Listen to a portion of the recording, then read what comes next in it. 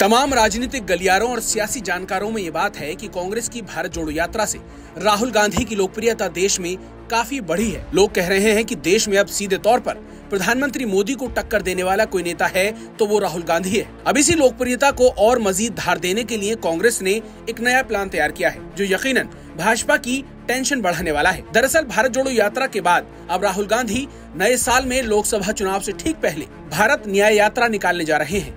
कांग्रेस की ये भारत न्याय यात्रा 14 जनवरी से मणिपुर से शुरू होगी और मुंबई तक जाएगी। ये यात्रा 6000 किलोमीटर से ज़्यादा की दूरी तय करेगी। राहुल की ये यात्रा कई ऐसे राज्यों से होकर गुजरेगी, जहाँ लोकसभा की ज़्यादा सीटें हैं। जिन राज्यों से भारत न्याय यात्रा गुजरेगी, वहाँ से लोकसभा की 355 सीटें आती हैं। ये यात्रा मणिपुर, नागालैंड, असम, मेघालय, पश्चिम बंगाल, बिहार, झारखंड, ओडिशा छत्तीसगढ़, उत्तर प्रदेश, मध्य प्रदेश, राजस्थान, गुजरात और महाराष्ट्र से होकर गुजरेगी और 6000 किलोमीटर से ज़्यादा की दूरी तय करेगी।